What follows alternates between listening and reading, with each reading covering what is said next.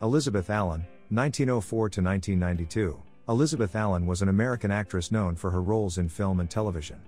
Born in Jersey City, New Jersey, she appeared in numerous movies and television shows throughout her career, including Donovan's Reef and Bracken's World.